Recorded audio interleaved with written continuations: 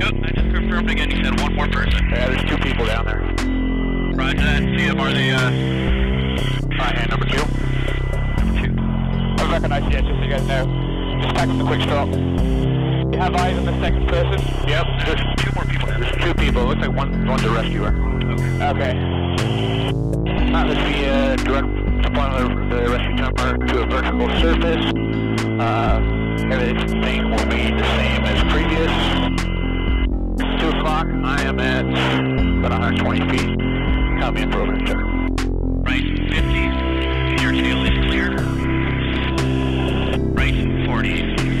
One, 100 feet. 100 Right 30. Tail is clear. Right 20.